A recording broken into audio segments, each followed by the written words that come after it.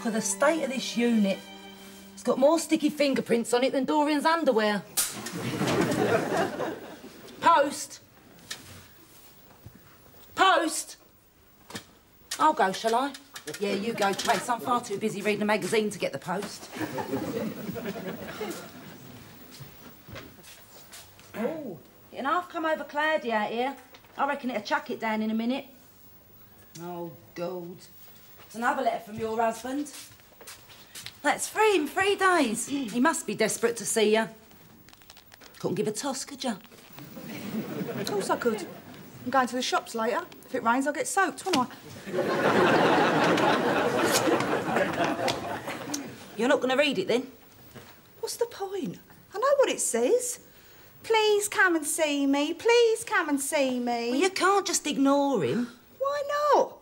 Doreen ignores her husband and they live in the same house. yes, well, yours obviously still thinks you're holding a candle for him. I've got a blow lamp I'd like to introduce certain parts of his anatomy to. Well, why not go and talk to him, tell him where he stands? Oh, I should, Coco.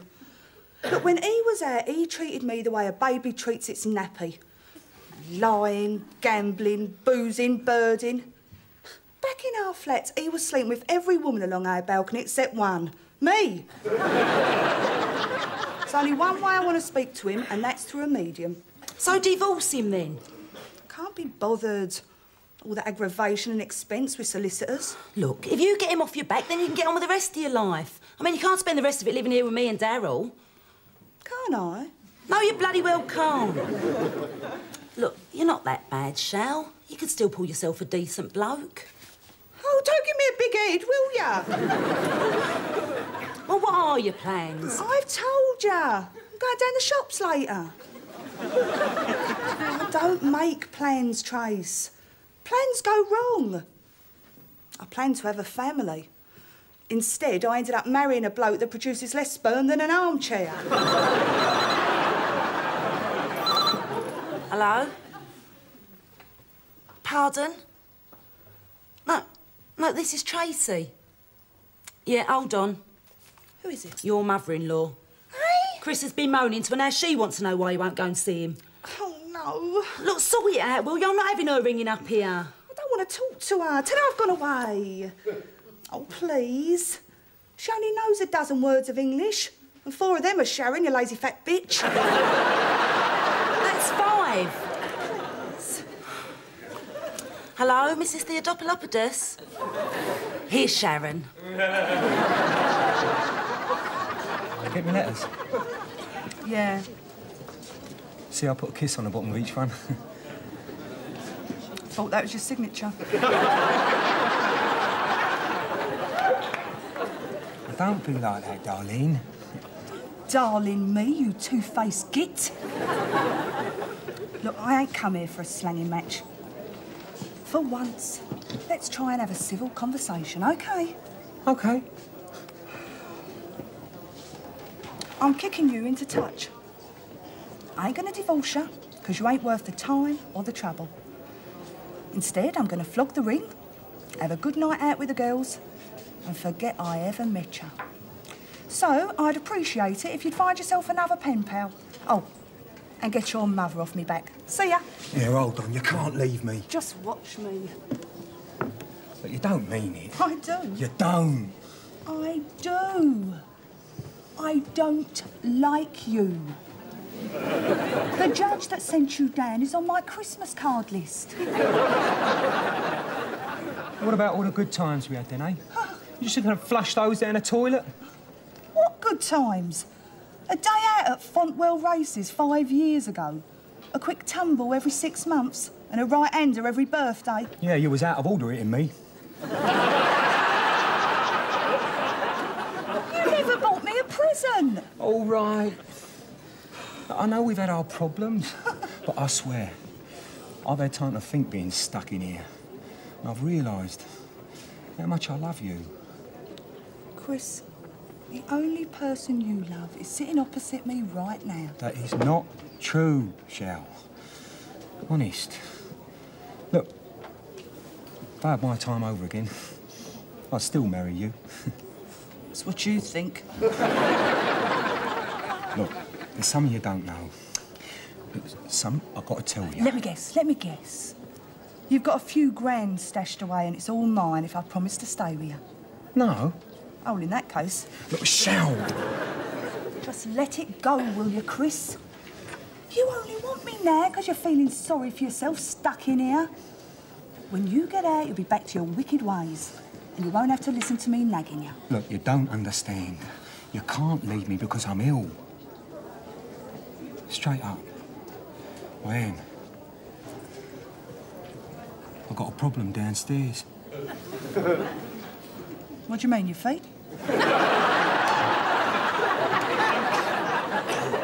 No. It's one of me tentacles. You mean testicles? Oh, yeah, yeah. Yeah, that's it. One of them's swelling up. I'm worried, Chow. I think it's serious. You make me sick. What? Is there no lie you won't tell to try and get your own way? Oh. You're worse than a Sun reporter. I'm telling the truth. Like the time you was telling the truth when you wrote to that pools winner. Tried to con 200 quid out of him towards a new kidney. But I can feel it getting bigger. Well, stop feeling it and it'll stop getting bigger.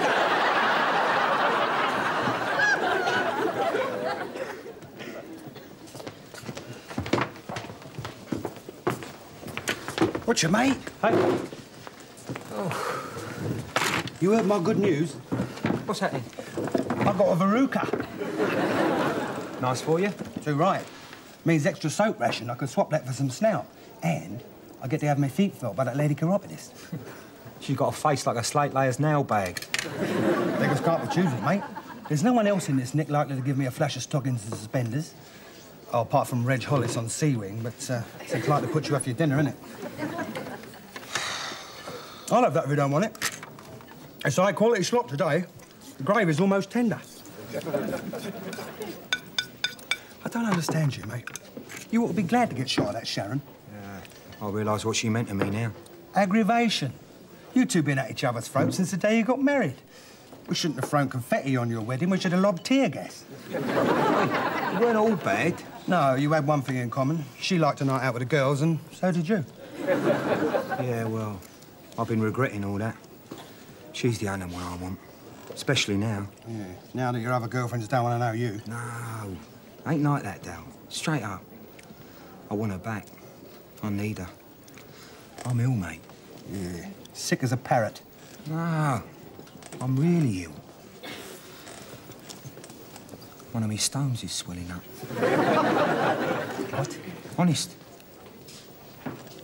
You must think I'm as green as these sausages. You're just swinging the leg trying to get Sharon back.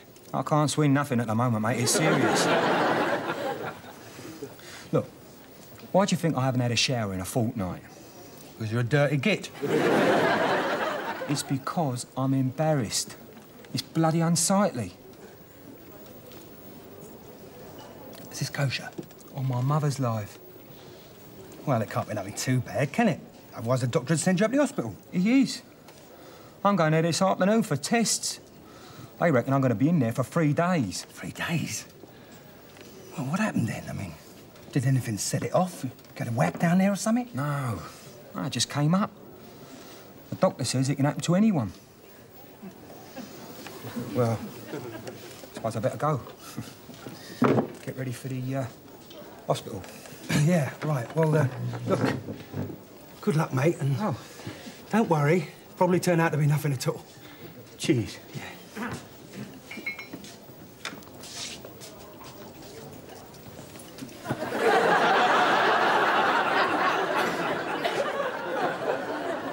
Not at the dinner table, Stubbs.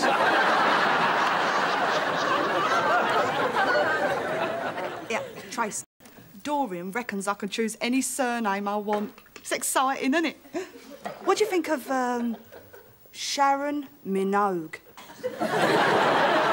Before you start thinking about changing your name, don't you think you should go and see Chris again after what he said? After what he said, I don't want to see him in photographs. oh, it was pathetic. I hate to see a man beg. Really? I insist on it. Well, what if he really is ill? Trace, he's a lying schmuck. He cheated his own grandmother out of her holiday money. Well, Darryl believes him, and according to his letter, so does the prison doctor. Why else would they be sending him to hospital? If he is going to hospital, it'd be for his piles. They always play him up when the weather turns. he suffers terrible with them.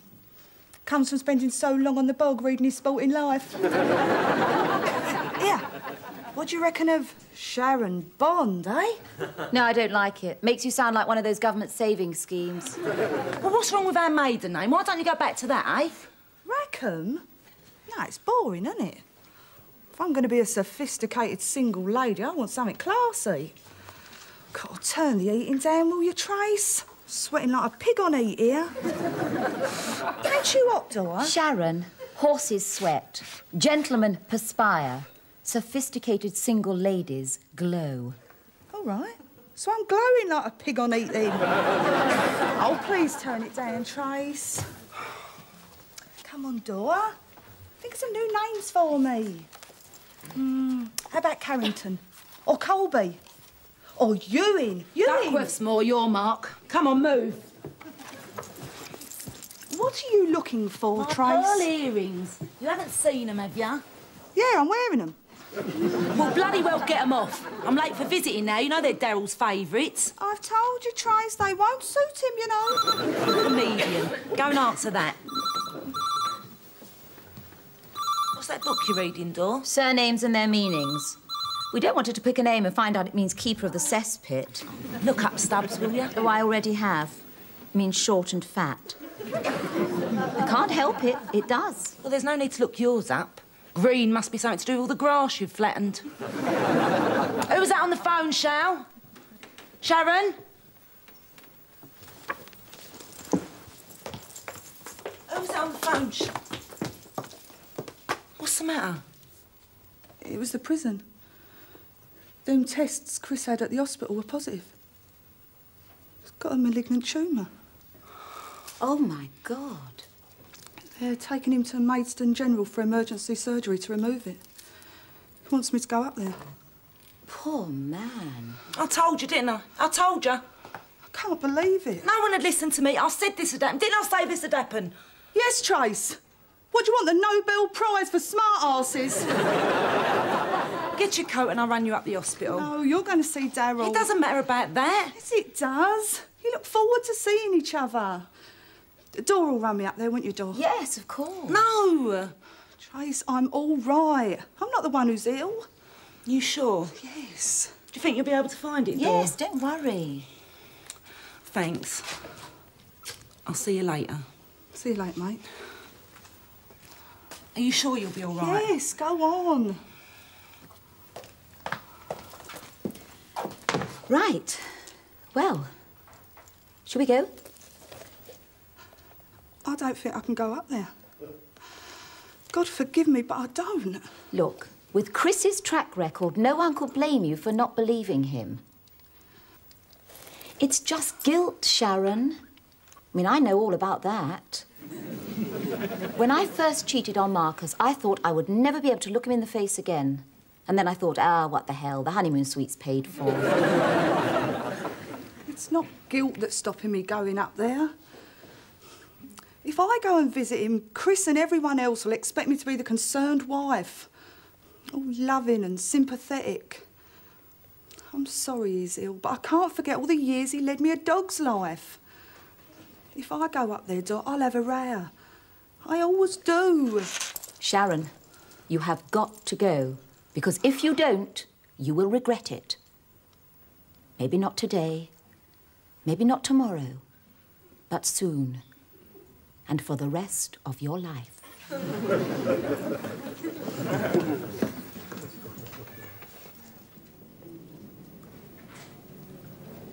Hello, gorgeous. All right? That's my missus. Lovely, isn't she? Hello.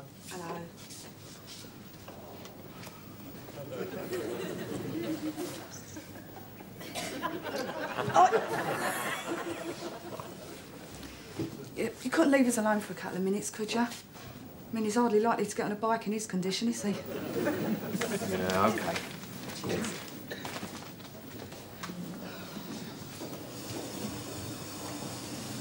Smart move, that.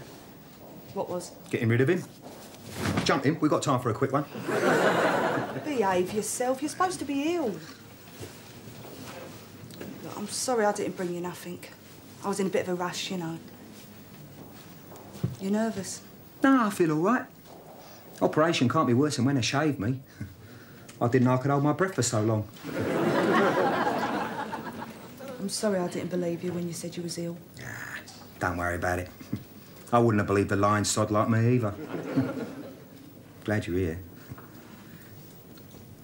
Love you, Shell. Not now, eh, Chris? We did have some good times, you know, me and you. Yeah? Yeah, we did. I've been lying here thinking about 'em. Hey, do you remember that time a whole crowd of us went to my cousin Andy's wedding? We all got paralytic, fell into the stereo trying to dance to the Birdies song. Yeah. Hey, then there was that time in that Italian restaurant. We all got paralytic, ended up having a food fight with that crowd from Bolton. Oh, yeah, I remember that. See? It, what about that time in that nightclub in Clacton? When you got chucked out for being sick on the chili con carne? Well, I didn't think they'd notice. we was paralytic then, weren't we? Not much. No wonder I don't remember none of this. Great holiday, that, eh? 45 of your best mates, a kip all down the beach. Drunk all night in the pub. Can't be Clacton for holiday. No. Never could get a decent cup of tea, though, could we? Oh, you and your bleating tea. hey, you still got that photograph of you and me in the back of that donkey? Yeah, somewhere. Hey, talking of good times, the best was after we'd been to Steve Harris's 30th birthday party. Don't you remember? No. We tried to do it in the back of my Uncle Capri. That weren't me. Oh, yeah. Sorry, Shell. Forget it. It's time to go down now, Chris. Ah, I'd love to, nurse, but I've got to have an operation. Sorry. I've heard worse. I'll get out your way, shall I? Good luck, mate. Make sure they take the right one, won't you? hey, you will come and see me again, won't you, Shell? Yeah, yeah, of course.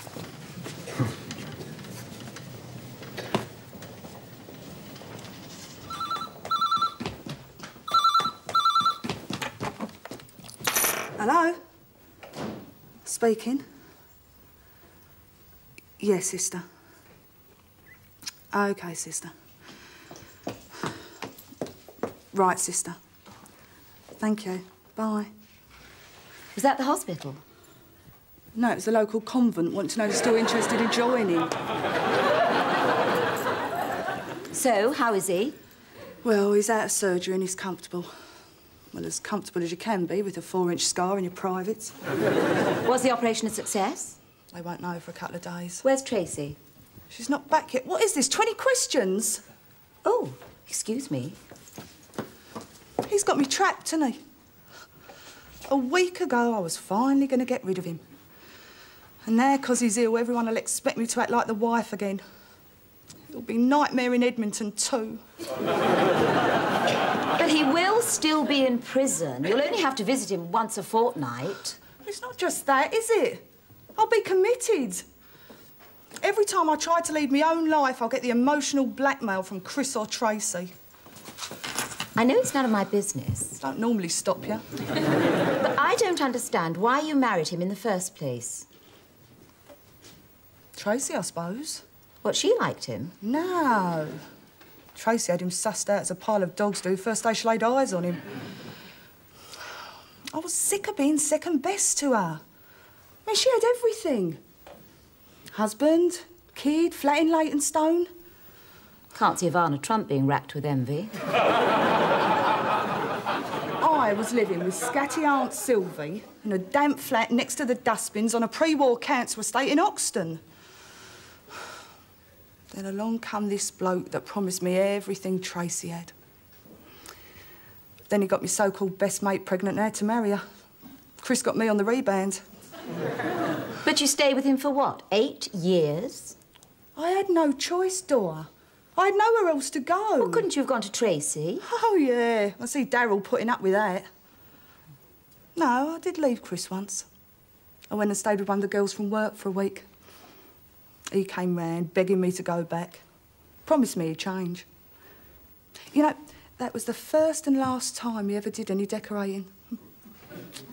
He done up the toilet using flock wallpaper. How awful. Yeah, it was. Needed something washable in there.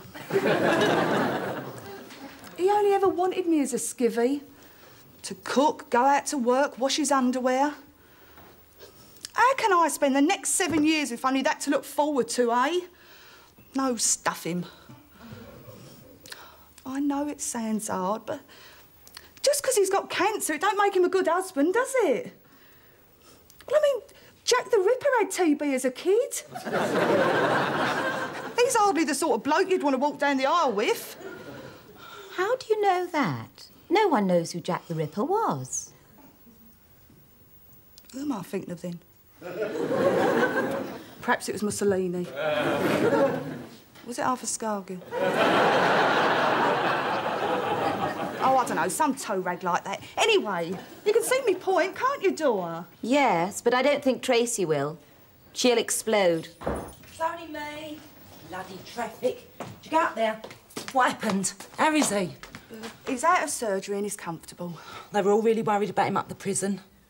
Well, Darryl was. How'd you get on with him when you got up there? All right. Good. He's going to be in for a while, so you'll have to take him up some clean pyjamas and something to read. I'm still giving him the elbow trace. As far as I'm concerned, nothing's changed.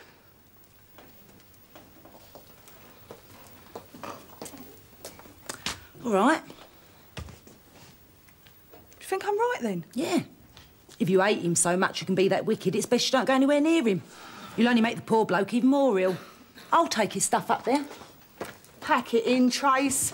I didn't say I won't bring his stuff up there. I mean, I don't hate him. I thought you did. I don't.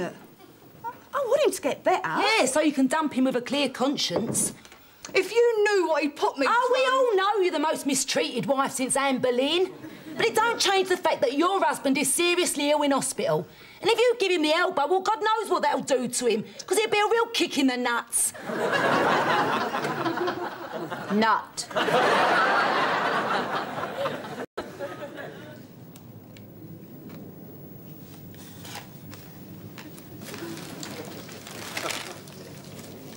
Did I say how long this scanner take? I'm sorry, love. Either of you fancy a grape? No, thank you. Here he is. Hello. All right. All right. You have a look, it's John Wayne. you look like you've been sitting on an horse for a month. Sharon. Ah, that's all right, Trace. I like myself, honey. I'm afraid something might give way. How did the scan go? Hey, all clear. Doctor says I shall make a complete recovery. Good news. Oh, brilliant. I'm really glad, Chris. Yeah, so am I. For a while there, I thought I'd had me lot. Got to take it easy for a while, but you'll soon be better. Get out of this place. Back in prison. Sorry. It's all right. Ah, it won't be so bad now. Got Shao come to visit me. We'll go out for a bit. Leave you two alone, eh? Not you. Oi, come on. Oh, Hey, that was the first time Tracy kissed me since. Uh... Hang on, that was the first time Tracy kissed me. I, I bought you some grapes. Don't let the guard get hold of them, will you? Here, shall. The doctor says only having one testicle won't change my sexual performance. You must be really disappointed. it's just a joke. But he says it shouldn't hinder me in any way at all. Hitler only had one, you know, he had a very full life. So they say, yeah. I could have had a false one put in, you know, just for show, like. Really? What? I didn't see the point. I mean, they're not made to be looked at, are they? Don't mind, do you? It's nothing to do with me, is it? Well, you are my wife. Or are you? I saw that look Tracy give you when he said about coming to visit me. Well, are you still going to give me the elbow? I've decided to leave things as they are for now. I mean, I'll still come see you, now and again. Great. I'm not promising anything, Chris. I still want to lead my own life. Fair enough. We'll just see how things go, eh? Well, whatever you decide in the end, I don't want you to let the fact that I've got a serious illness hanging over my head influence you. oh! You all right? No, no, no, don't worry. It's just a twinge. Probably. Look, if I am going to come and see you, let's stop all this constant digging at each other, eh? Yeah. Show each other a bit of respect. Exactly. I'm, uh, I'm thinking of changing my name. Yeah? Good. well, Sharon is a bit common. How about Apollinaris, like me mum? Sharon is not bloody common. I meant the stupid surname you lumbered me with. Yeah. The name Theodopolopodous is well known in Finsbury Park. Only by the old bill. Look, I want a name you can stick on one side of an envelope. Oh, and nothing Greek. All right, so what Ponzi name are you going to give yourself then? Well, I haven't quite decided yet. I've made a short list.